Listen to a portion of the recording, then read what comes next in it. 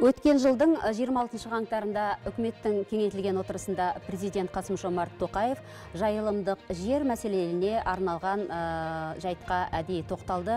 Бұл жерлер ең алдымен ауыл тұрғындарына қолжетімді болуы шарт деді. Бұған жергілікті әкімдіктер жұмысын дұрыс ұйымдастыру қажеттігі бар екендігінде атап өткен болатын. Бүгінге дейін нәтижесі қандай болды? Тікелей эфир барысында талдап көрейік, сәлеметсіздер ме? Ал біз тікелей эфир телефон естеріңізге сала кетейік. 33-90-35 Павлодар қаласының коды 8-718-2 хабарласып пікір білдірсеңіздер болады.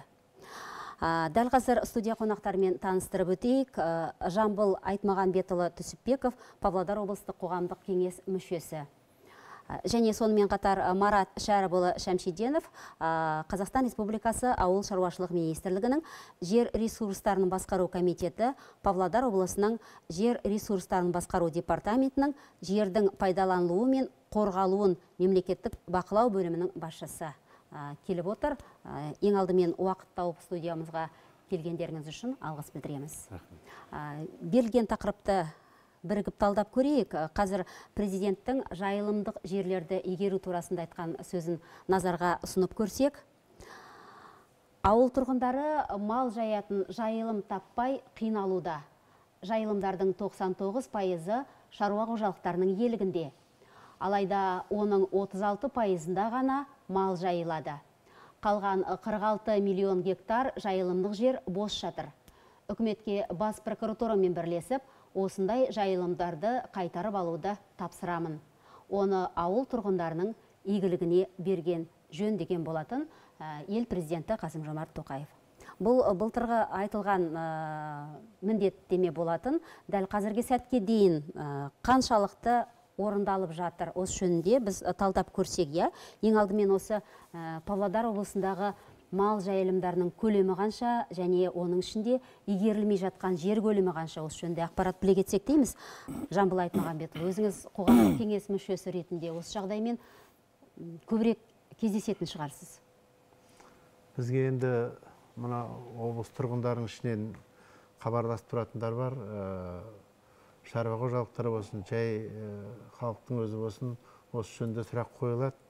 Бұл негізі енді мониторинг жасап жатырмыз бүгінгі күнгі қала ауданның жер қатынастары бөлімінен біраз ақпарат алдық. Енді соның ішіне қарасақ бүгінгі облыстық ауыл шаруашылық басқармасының несі бойынша есебі бойынша бос жатқан жайылымдық жерлер көлемі бүгінгі бір миллион тоғыз жүздай болады екен.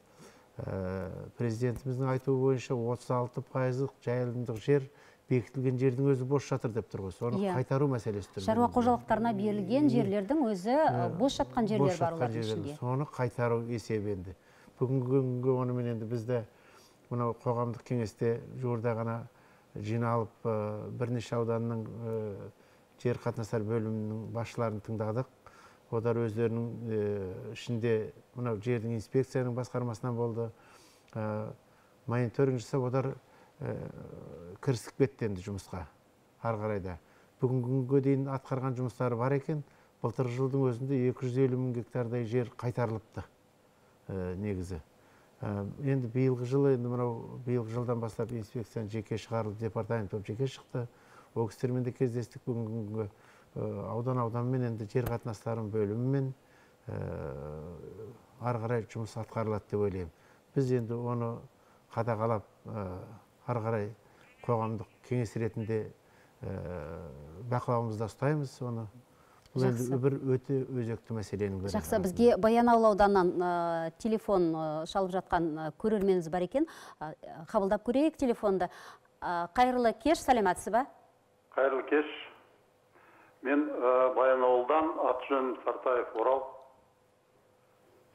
аха сіз қазақстан фермерлер одағының баянауыл аудандық бөлімшесінің басшысысыз иә дәл солай осы мәселеге қатысты бос жатқан жайылымдық жерлерді игеруге қатысты ауданда қандай мәселе бар бөлісе тұрсаңыз енді бізде ауданда бір миллион сегіз жүз елу мың жалпы гектар жер бар ауыл шаруашылық нысандағы. Оның жайылымы бір жарым миллион. А, сол бір жарым миллионның миллион э, миллионнан аса гектары э, жалға берілген енді шаруа қожалықтарға.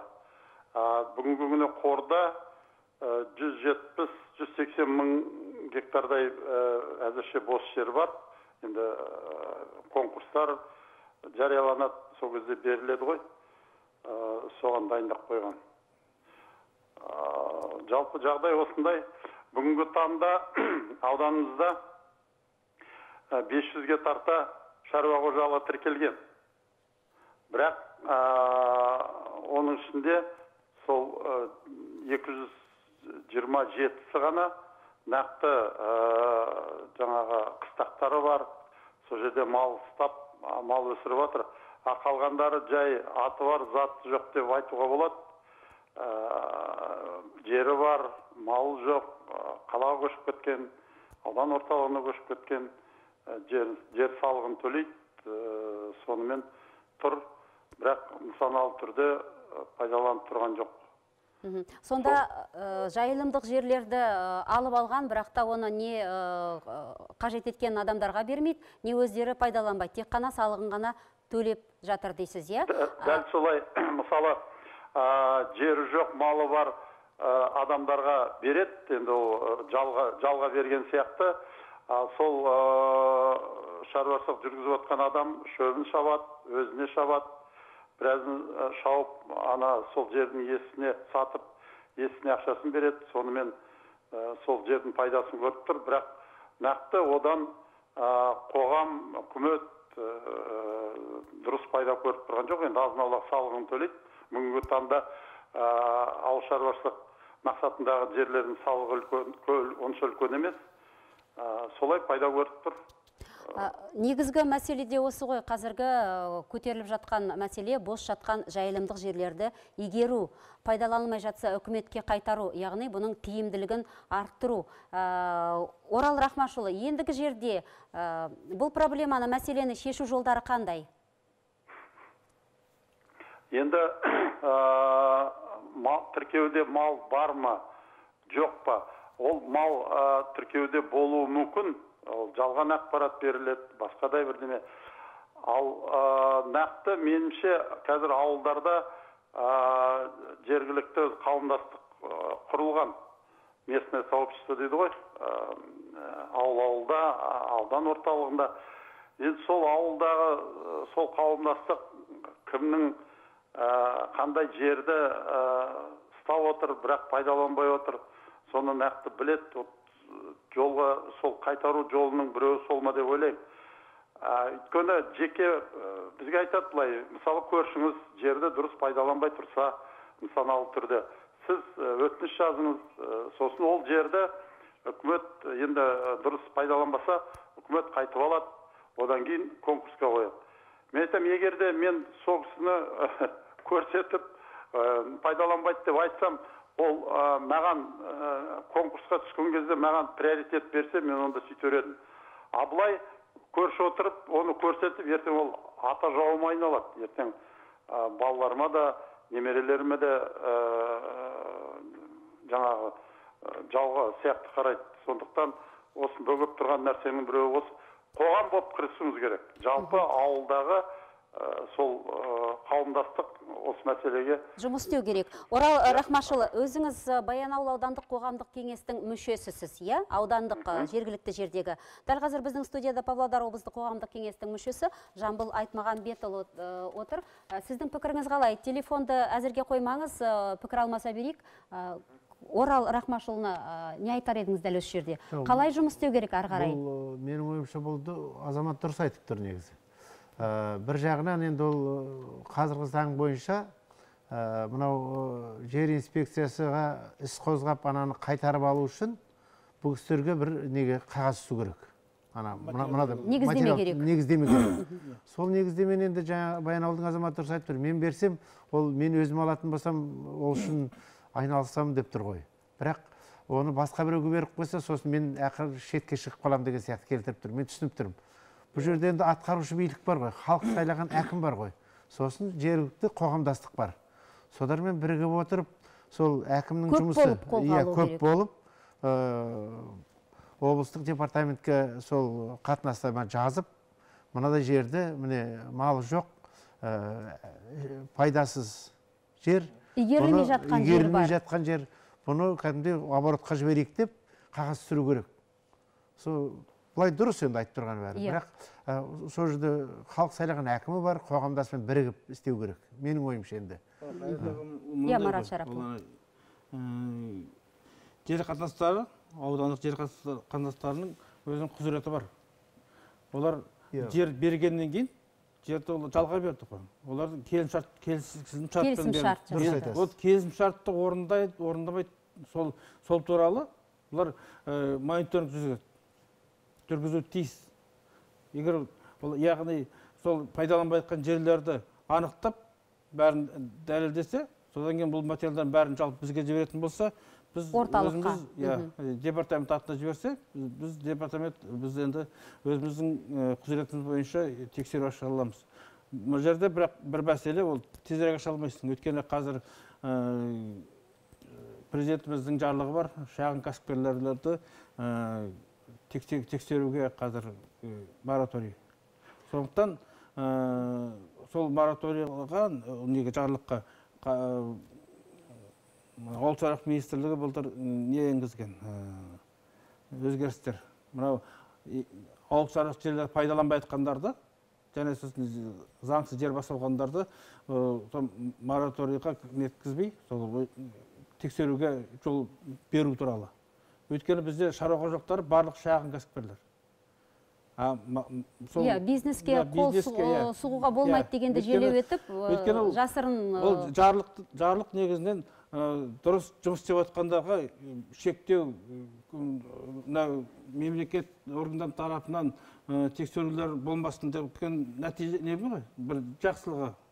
Ал енді бір жағынан енді былай мал жерді пайдаланбай жатқандарға осыларға енді кішкене өзгерістер жасап бізге тексеру өткізуге жағдай жасалып жатыр. Енді сондықтан біз барлығын жинап комитетке жіберіп бір бұйрықпен шығарып жаңа ғана иә э, орал рахмашұлының э, хабарламасынан э, байқап отырсыздар. Яғни ауданда мәселе бар. Бар.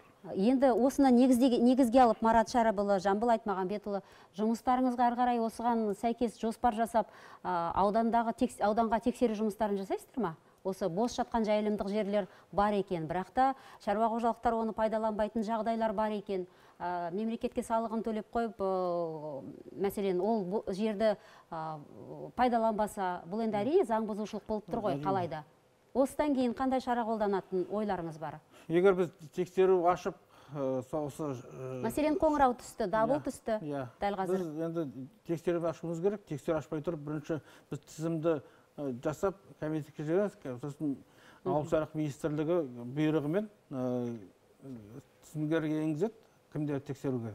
Сосын сол тізіммен сосын прокуратура арқылы тексеруді тексеру актісін біз тіркейміз де содан кейін шығамыз тексеру барысында егер ә, дәлелденсе жер пайдаланбай жатса онда біз өз құзыретімізде қазақстан республикасы әкімшілік кодексінің үш жүз отыз екінші бабында көрсетілген шағын кәсіпкерлерге қырық айлық есептік көрсеткіш айыппұл орта шаруашылықтарға орта кәсіпкерлерге жетпіс сосын ірі кәсіпкерлерге екі жүз айлық көрсеткіш айыппұлдар көрсетілген. Бұдан, басқа бұдан басқа ауыл шаруашылық жерлерін пайдаланбайтындарға жиырма есе налог. налог Салықты иә, көтеріледі. Оларға салық кодексінің елу бес жүз тоғызыншы бабында көрсетілген. Мхм. орал рахмашұлы сіз байланыстасыз ба? Иә иә. Аха. мен бұл жерге қосатыным мысалы біз ауданда енді сол айыппұлға жеткізбей жаңағы басқаша нелерге жеткізбей енді пайдаланбай отқан азаматтарды мен әңгіме дүкен құрып өзі ер түрде қайтаратындай қылып жағдай жасап жатырмыз. Енді былтырғы жылы мысалы 2021 жылы 3644 гектар жер солай қайтарылды. Ал енді мен бұл жерде бір айтатыным қазақ айтады. Ә, жесір әйел ә, дау шақырады ә, бос жатқан жер жау, шақырады деп. Бір айтарым мына бүгінгі күні ауыл шаруашылықпен айналысып отқан адамдар енді біз ана жол жай мониторинг жасап көрдік біздің аудан алпыстың маңайындағы адамдар.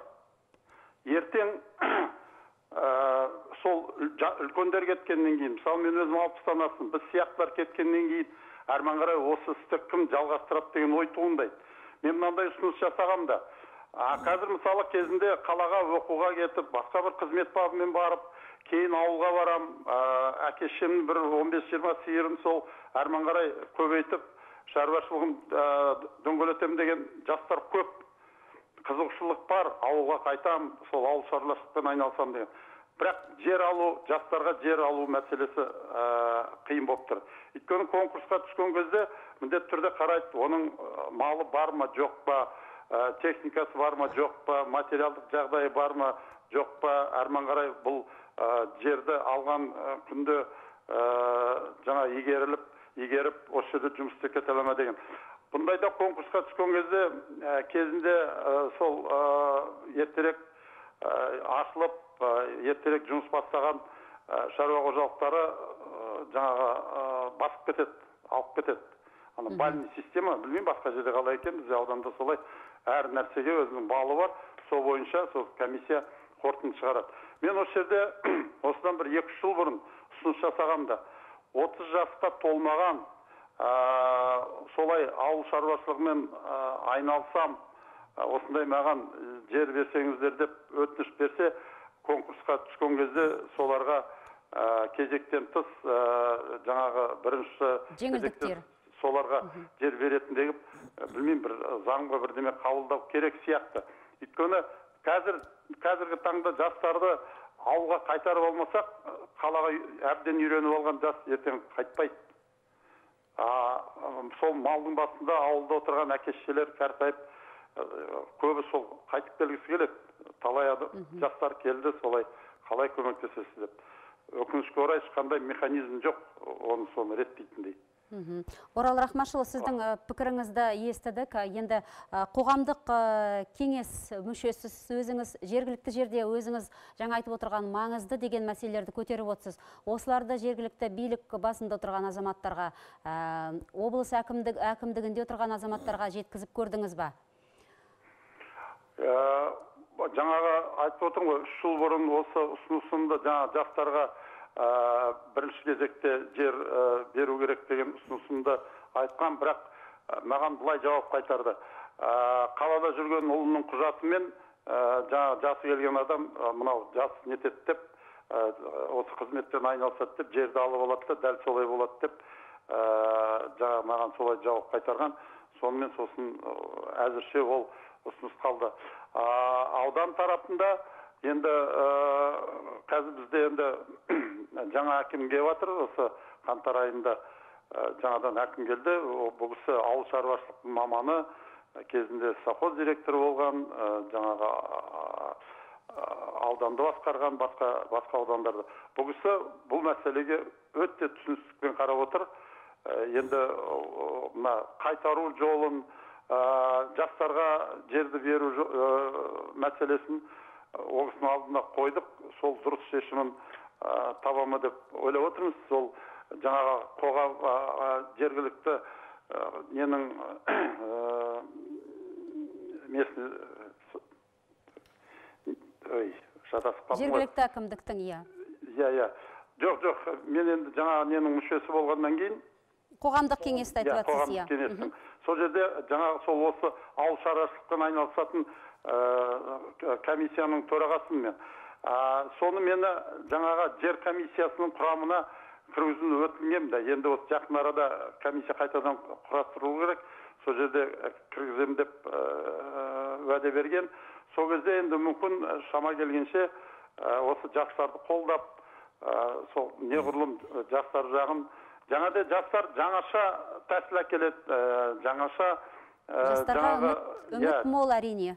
Иә иә иә. Ә, сондықтан ә, сондай ойлар бар сондай ұсыныстар бар. Енді іске асады деп өз басым ойлаймын. Жақсы. Орал рахмашұлы хабарласқаныңызға көптен көп рахмет. Әлі де біз хабарымызды жалғастырамыз. Ә, ертіс арнасын қосып біздің көрермендерімізге айтарымыз. Ә, тікелей эфир ә, желісіне хабарлассаңыздар болады. Ойларыңызды пікірлеріңізді білдіруге ашықпыз. Осы алаңға хабарласуларыңызға болады. Біз әрі қарай жалғастырайық. Ә, иә жаңа ғана ә, хабарласқан біздің ә, көрерменіміз сол баянауыл аудандық қоғамдық кеңестің төрағасы екен өзі. Қазақстан фермерлер одағының баянауыл аудандық бөлімшесінің басшысы көтеріп отырған мәселе өзекті деп ойлаймын. Өзекті әрине енді иә. ол кісінің айтып отырғаны мынау жерді беру жағынан енді конкурс арқылы ауыл шаруашылық жерлерден конкурс арқылы беріледі деп бұл жер кодексінің қырық үште бір сосын қырық сегізінші бапта көрсетілген. Бірақ қырық сегізінші бапта да мынау жас отызға дейінгілер деп жеке не қарастырылмаған. Қарастырылмаған бапта заң иә. жүзінде Ба- қарастырылмаған. өйткені қазақстанда барлық жерінде осы бір жер кодексі о- оңтүстік болсын шығысы болсын барлығы. Ерекшелік жоқ. Жамбыл аға, Ерекшелігі жоқ. заңға өзгеріс енгізу қажеттігі бар болып тұр ғой бұл жерде. Енді қараңыз кәсіпкерлікпен мал шаруашылығымен айналысам деген жастарға бұл заңның тетіктері дұрыс болмай тұр қолбайлау болып тұр. 30 жасқа дейін айналысса нағыз ы, мұнда шектеу жоқ қой көрдіңіз ба отыз жасқа дейінгі де береді бәрібір. Иә. Ол шектеу жоқ заңда көрдіңіз ба Ә, жаңа баянауылдың азаматы дұрыс айтып отыр. Бұл негізі ә, негізі айтуға болады ол жанашыр екен. Ә, қоғамдық кеңестің мүшесі болса оның үстіне өзі айтып отыр қазір жер бөлу жөнінде комиссия кірейін деп жатырмын дейді. Ол еліне жаны ашып жаңа ғана айтып жатыр біз ең- ертең алпыстан мін кетеміз иә иә сын түзелмей мін түзелмейді. Ол кісінің айтуы дұрыс. Енді ары қарай мен комиссияға кірсем өзім де соған ықпал жасаймын. Ә, жаңадан тұрған аудан әкімі оған көмек жасайтын түрі бар деді ғой. Ол кісінің де енді беделі де түсіне біледі деп. Үміт сол артып үміт артып отыр. Ол дұрыс. Барлық жерде сондай болса менің ойымша жақсы болады. Әрине. Айтайық біздің облыс бойынша. Негізі мынау комиссия мүшелерінен де көп не ғой? Мынау конкурсқа документ дайындайды. Сосын әлгі жерге жер қатынастары бөлімі ә, ол енді как ә, жұмыс ә, тобын құрады ғой нені комиссия құрады комиссия құрғанда жер бөлетіндер соның ішіндегі жер мүшелерінің өзіне байланысты ол кісілер солар білетін болса сол Біліктілігіне иә байланысты. біліктілігіне Қалай дауыс байланысты иә иә. қалай дауыс береді Иә. олардың бәрі түсінетін адам болу керек оның ішінде жанашыр азаматтар болу жанашыр керек, азамат дәл сол болу керек. жердегі азамат оның үстіне анау ә, әр ауданның жер қатынастары бөлімінің мамандары да басшысы да ә, сол жерге жан ашитын болу керек ел кезек көз ашық азамат иә, болу көз керек ашық. деп отырсыз. анау ауылдық адамға көзқарасы бәрі дұрыс болу керек. Жан ашып қарамаса ол болмайтын нәрсе негізі. Жақсы біз жаңа ғана баянауыл ауданынан хабарласқан біздің көрерменіміз және ауданның белсенді азаматы орал рахмашұлы сартаевтың пікірін тыңдадық. Бұл енді баянауылдағы жағдайға сипаттама беріп өтті. Жалпы кейбір шаруа қожалықтары иелігіндегі мал жай- жайылымдарын тиімді пайдалана алмай отыр деді президенттің өзі иә? Заң бойынша бұл нысаналы түрде пайдаланылмаған жер мемлекет меншігіне қайтарылуы тиіс. Бұл жұмыстар павлодар облысында қалай орындалып жатыр? Енді соңғы кезеңдерде павлодар облысының әкімі әбілқайыр ысқақов аудан аудандарды аралап елді мекен тұрғындарымен ашық түрде пікір алмасуды ә, бастап кетті иә? Бірінші сәуір күні ертіс ауданына арнайы барып халықпен кездесу өткізді. Бірқатар түйінді мәселелер қозғалды. Оның ішінде біз қозғап отырған ә, мал ә, жайылатын жерлерді игеру тиімді пайдалану мәселесі болды осы жөнінде ә, түсірілген біздің тілшілеріміздің біздің шығармашылық топтың түсірген ә, бейне материал бар соған назар аударайық одан кейін ары қарай жалғастырайық Село Узынсу, Батаев, Агашуринский округ. Ну, тут вы и сегодня, и до этого вот с таким районом встречались, озвучивали вот вопросы по прогону скота на пастбище.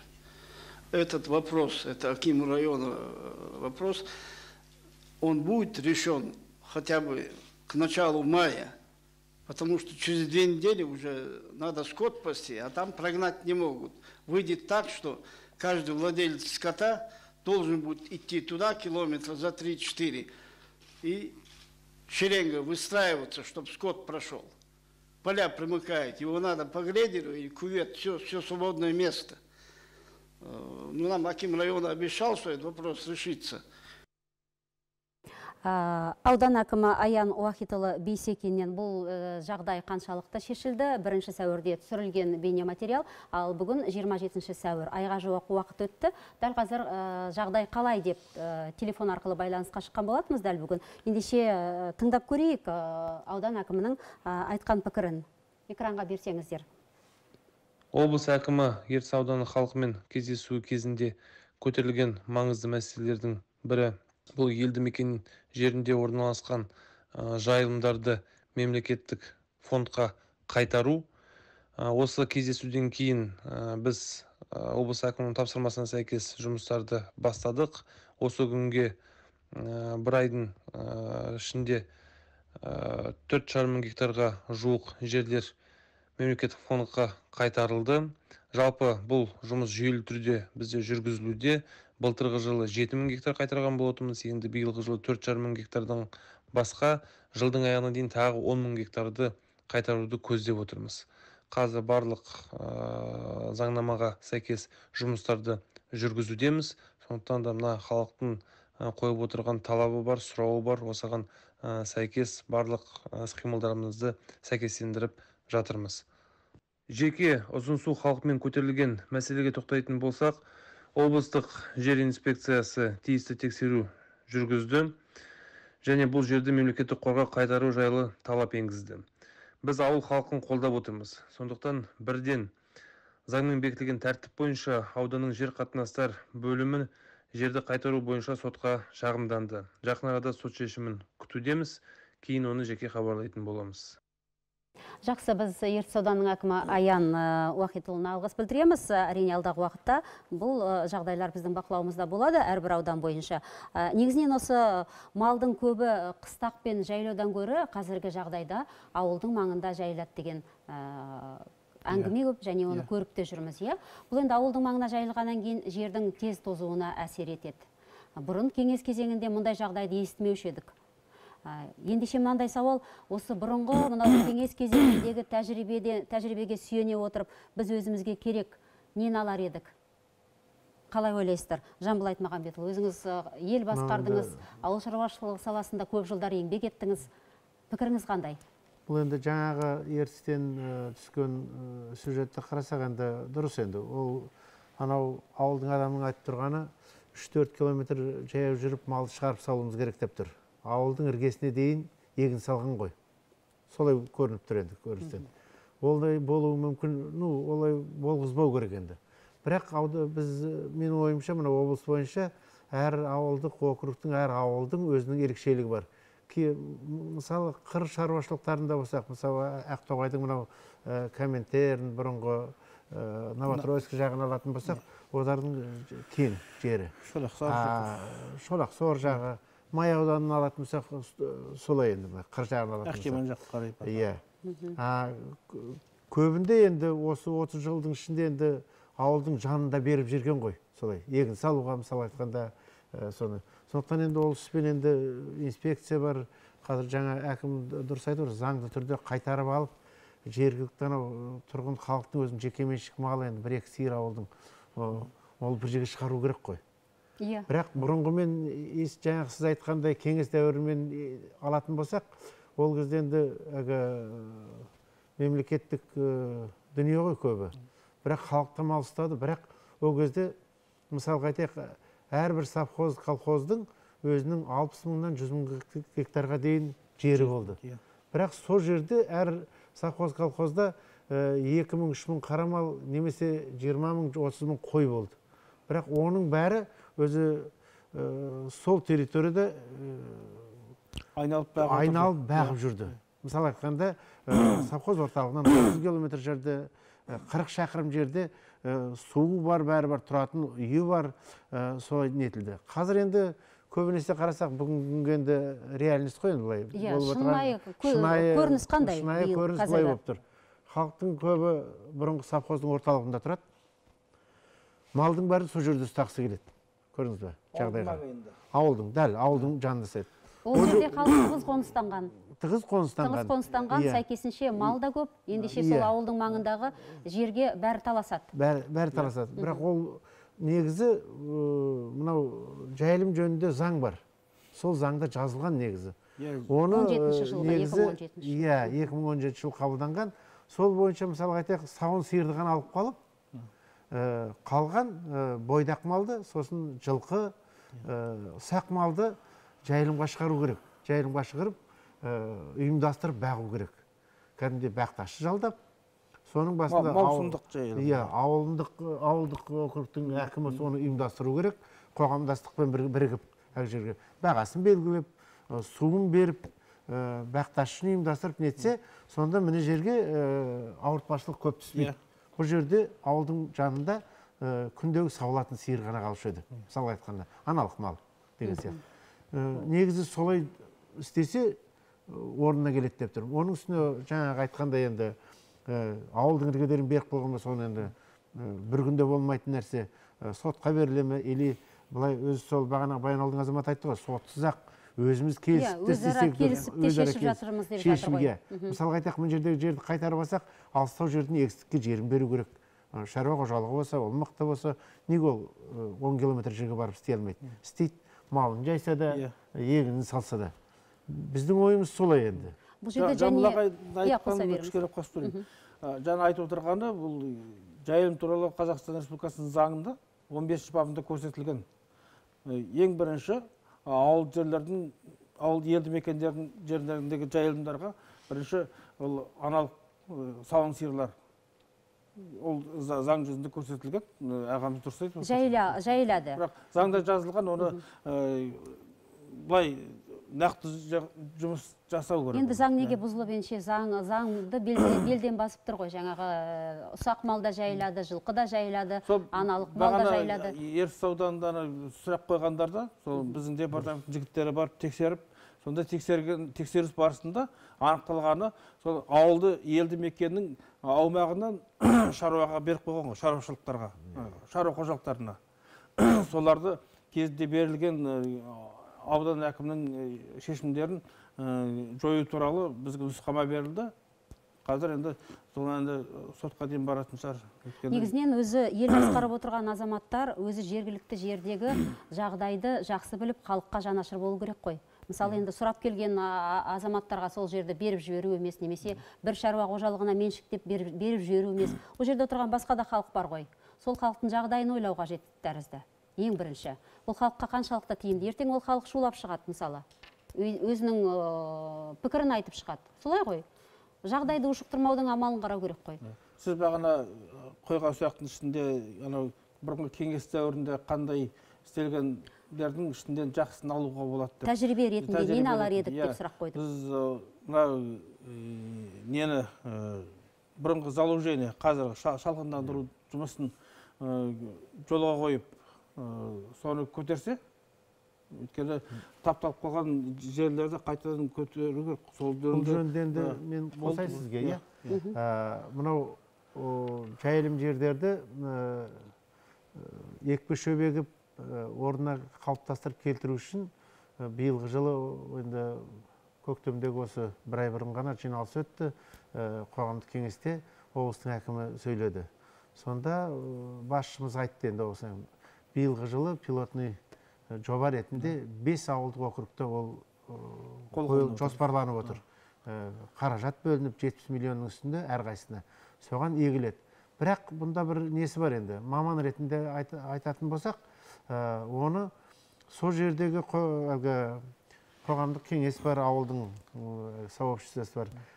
Әсіресе ауылдың әкімі бар ауданның әкімі бар. Ә, анау 70 миллиондай ақшаны салғаннан кейін ол жерге ол мына қазір салып бір айдан кейін мал бағатын жер емес ол. иә, күтім ол керек міне ол күтім керек. Биылғы жылы ол еккеннен кейін ол тұру керек. Бабына келу керек бабына иә, келу керек. ендігі жылы да тұру керек. Міне биыл салсақ жиырма екінші жылы жиырма үшінші жылы ол өсу керек. жиырма төртінші жылы ғана жайылуға болады ол жерге. Көрдіңіз бе? Сондықтан ол ертеде ата бабамыз жаз жайлауым қыс қыстауым дейді ғой. Соның өзіне жиырма отыз шақырым жерде ата бабамыз ертеде мал жайған. Көшкен сонда ә, қыстаққа келіп ерсін жегіне келіп ә, қыстақтан көшкенде анау ең ақырғы қырқыншы километр жайлауына жету үшін ол екі ай жүрген ғой. Қайтқанда ол ізбен қайтпаған. Көрдіңіз бе? Ол қазақша жерді сақтау иә, жердің шұрайлығын Иә, сақтап қалу сақтау үшін. соны былай есептесек ол қазір енді не мынау кітап тілімен айтқанда севооборот дейді. Анау пастбище оборот Иә. пастбище оборот деген жайылым жердің алмасуы міне биыл би- міне бір ай мына жерге бақсаңыз бір ай мына жерге бағуыңыз керек басқа жерге. Бір жерде баға берсеңіз сияқты сияқты иә жердің құнары кетеді. одан кейін малдың иә. өнімділігіне әсер етеді. Ол сүт азаяды арықтайды деген сияқты. Солай ғой енді. Маманда маман ретінде марат шәріпұлы. Енді ол бір жерде баға берген әрине оның өнімділігі төмен түседі. Шөп бұл тез өсе бермейді ғой. Егер жауын болса өседі жауын болмаса өс- өспейді бағанағы мынау э, шалғындандыру жұмысында э, көбінесе көп жылдық э, шөп көп- еркек шөп деп айтады ғой қазақша Иә. сол еркек шөпті еккен егу тәсілді өзінің ерекше ол бидай сияқты сегіз сантиметр егіп тастауға салмайсың ол э, өзі нәзік өсімдік болғандықтан оны бір екі сантиметрға дейін тереңдігі ал бір екі сантиметрде жер құрғақ болады. Құрғақ жерде ол өспейді. Ол үшін оны суландыру керек кішкене. Ылғал керек. Ылғал керек. Ол өсу үшін. Ол әрине ол тамыры әл- әлсіз болады. Же- жерге бекітілмейді. Жерсініп кетуі қиын иә. иә, бірден. сондықтан оны бағана ақырында айтып бір екі жыл күтім керек. Егер ол м, егіп қойып ертең кішкене көк шығып кеткен кезде э, мал кетсе мал ана тамырмен бірге жылы болады. Сиыр тілімен э, жылқы тістеп бәрі жылы болады. Сондықтан жақсы. ол түсінікті. Ендеше біз ары қарай жалғастырайық. Біздің көрерменіміз тағы бір көрерменіміз хабарласқан екен. Қайырлы кеш э, сіз тікелей эфирдесіз. Саламатсыз ба алло. Қоя беріңіз сауалыңызды. А, саламатсыз ба мен ақтоғай саламатсыз ба ауданнан хабарласып тұр едім мына жайын туралы ә, мәселе көтеріліп жатыр екен ғой. Біз ауылдық жерде тұрамыз ақтоғай дегеннің жоламан деген ауыл.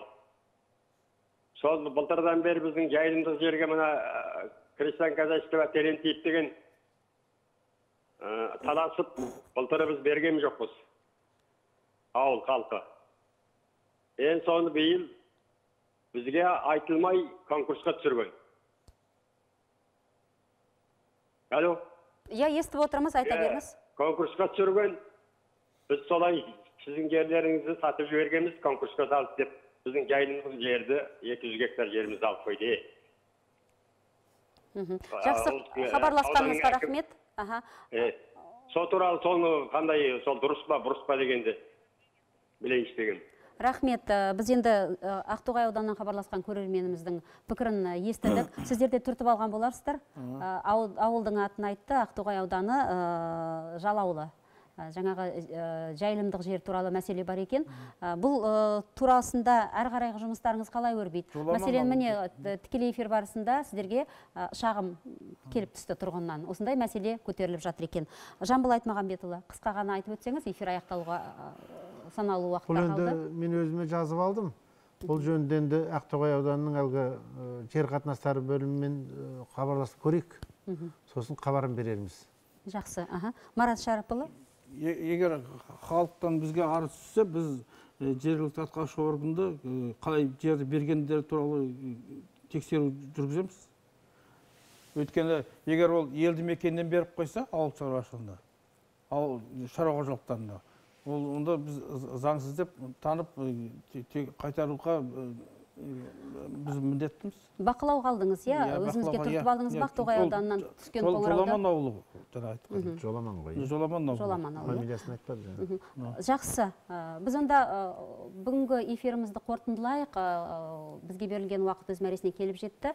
Студия меймандарына алғыс білдіреміз. Істеріңізге сәттілік тілейміз. Қымбатты көрермендер осымен бүгінгі бағдарламамыз өз мәресіне келіп жетті. Күнде кешкілік ертіс телеарнасында болатын жаңа қазақстан бағдарламасынан көз жазбаңыздар бізбен бірге болыңыздар хабарласыңыздар. Бірге талқылайық әр мәселені. Сау болыңыздар.